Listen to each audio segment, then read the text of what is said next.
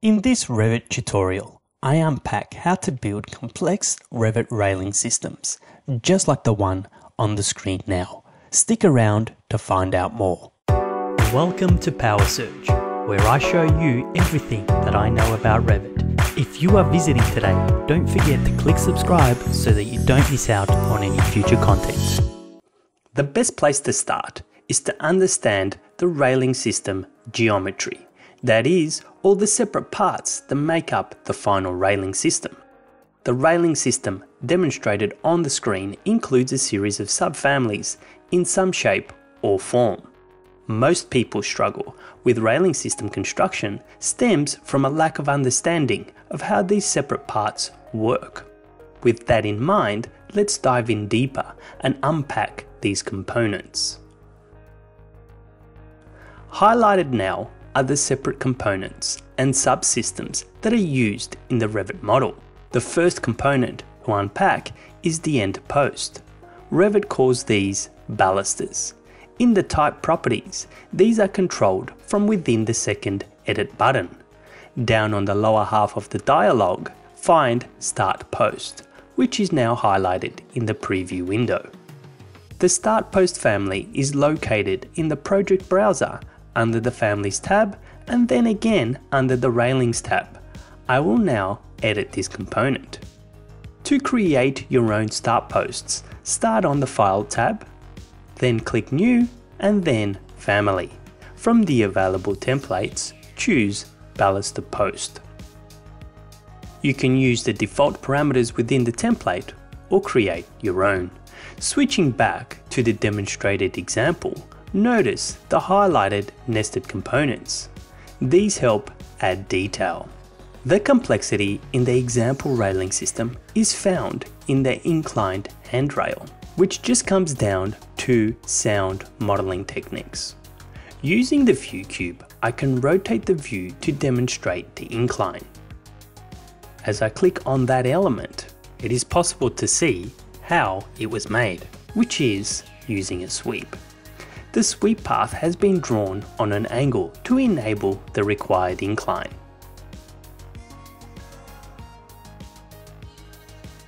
I will now delete it and recreate it in session to show you how this can be achieved. Start by clicking create and then on the ribbon pick sweep. Following this, move to the floor plan view. From here, we can define a work plane pick the plane that cuts across the post, which will take you to the front elevation. Draw a reference plane in the required incline angle. Then reset the work plane so that it is hosted to that inclined reference plane. This will then take you to the left elevation. From here, it is possible to sketch the sweep path. Use pre-drawn reference lines to help you sketch. Then use the sketch tools to achieve the desired path as shown.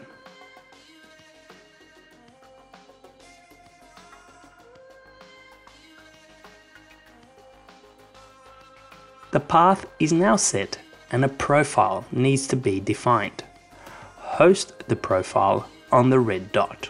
The profile is a circle, but because this view is hosted to the inclined work plane, the profile is also inclined and appears as an ellipse. And here we have the completed sweep extrusion. This can now be loaded into the project. Another feature of post families is that these can be parametric. As I zoom in here we can see the fixing plate hosted to the ramp.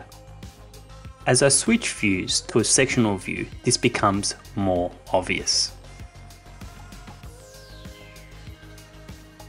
Parameters can be added to a post family, which allow this to flex in place depending on the slope required for your project. Let's have a look at how to do that. We are now in the post family. I can switch to the left elevation and I can zoom into the target area, which is the base of the post.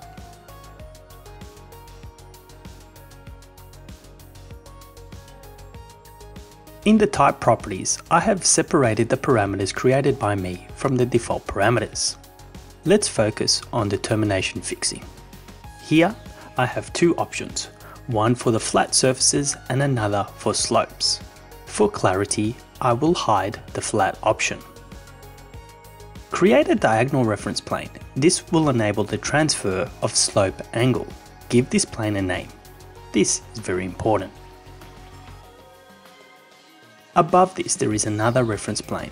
This will control the elbow. Next, add a reference line and lock the top of this line to the upper reference plane. This will control the elbow bend. At this point, I will also hide the post for the flat surfaces. The selected post is a sweep with its path hosted onto the added reference line. Notice this path segment is also locked at the reference planes to the bottom and the top. The next step is to place the termination fixing. Switch to a plan view. From the nested components, right click to create an instance. From there, move up to the ribbon and pick Set Work Plane. Move to Plane Placement on the options bar and select the diagonal plane created previously. This is why naming the plane was so important. In the left elevation, we can now see the termination, but it is upside down. This can be flipped. Using the align command, position the termination so that it is locked to the reference line. Finally, apply the visibility constraint so that this element is only visible in the angled option. These steps can be repeated to add parametric controls for the other nested components in the family.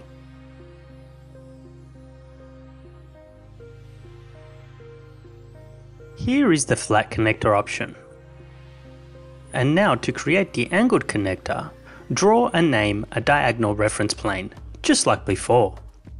Switch to Plan View and find the connector in the Nested Components list and then right click to create the instance. Then repeat the steps for setting the host workplane.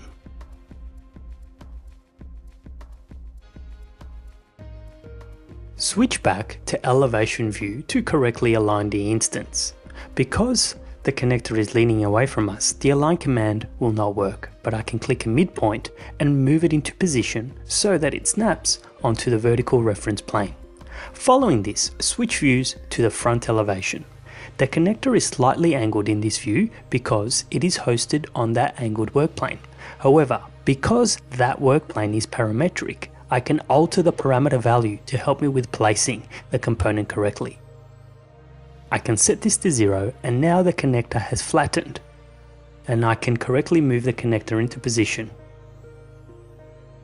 Now, the angled connector is directly on top of the flat connector and a warning has appeared. So I need to re-establish the top rail connector parameter which no longer works because it is over constrained.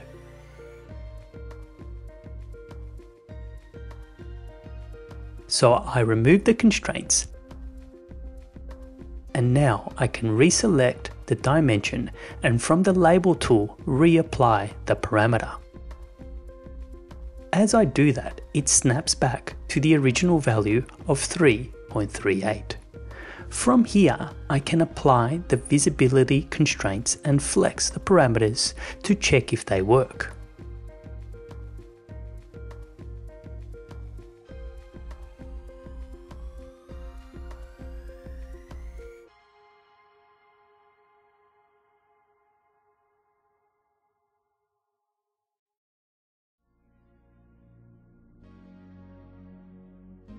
Finally, I need to check the visibility constraints. I do this in a 3D view. And then on the view control bar, I can toggle the preview visibility button. And now, as I toggle between the parameters, I can preview the end result. Here is the angled constraint. And moving up to the top rail connector, I can alter that parameter value to something more pronounced.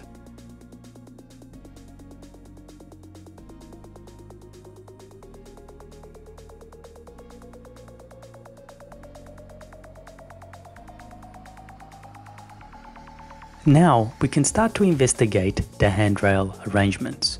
Over on the type properties I can show you the various handrail types used in this model. each with their own settings. Let's look at these settings a little deeper. The best way to understand this is to toggle the preview button.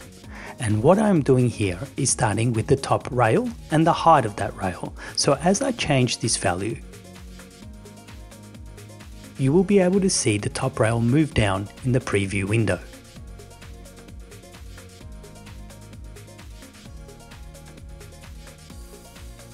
Importantly, this top rail has its own type, which I can access by clicking in here. I can now access the key properties for that specific handrail and the keys in this instance are the rail profile, which is a 50mm circle, and also the hand clearance. The handrail values don't mean much to you right now, but I do address this later in the tutorial. This rail type also includes a termination family, which are these highlighted squares. This termination family is listed over here on the project browser. I will switch over to a 3D view because it is very important with handrail construction that you understand what you are building first and the best way to get that understanding is to provide yourself with references. For example, in this project I prepared a series of sectional views from which to gather that information. And because of the prep work, I can easily extract any offsets in this case, the value of 133mm, which refers to the hand clearance value shown previously. Moving down the list, I can repeat this process for handrail 1. This handrail has its own type because it contains some other terminations.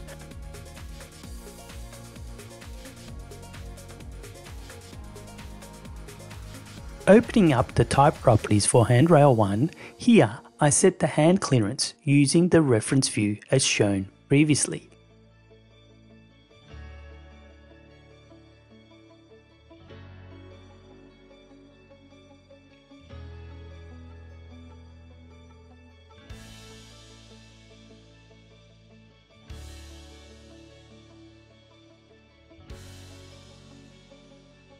The same 50mm circular profile can be used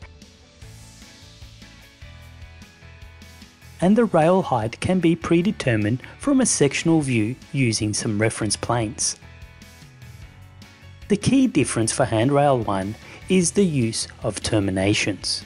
The termination family is created separately and then applied to these parameters. There are two options for terminations.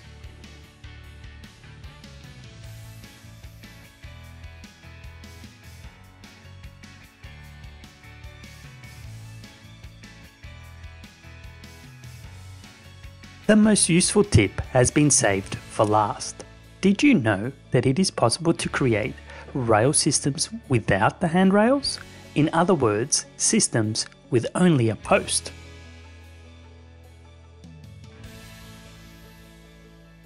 From a duplicate type, remove all of the handrails. Then, from the baluster settings, redefine the baluster family arrangements and the top rail host.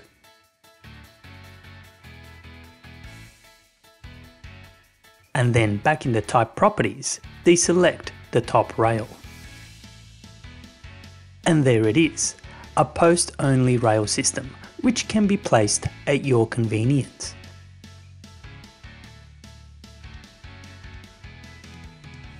This means that you don't have to wrestle with Revit's difficult baluster settings.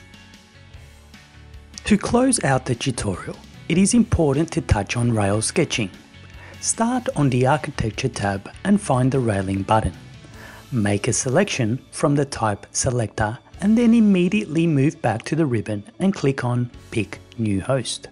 Click on the stair or ramp the rail should be hosted on and commence sketching. The rules here are start at the bottom and segment the sketch where each change of plane is a new segment.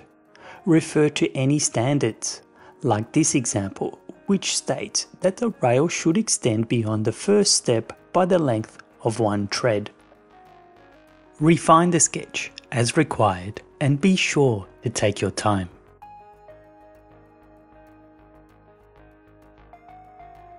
Allow for any offsets required by any nested components, such as terminations.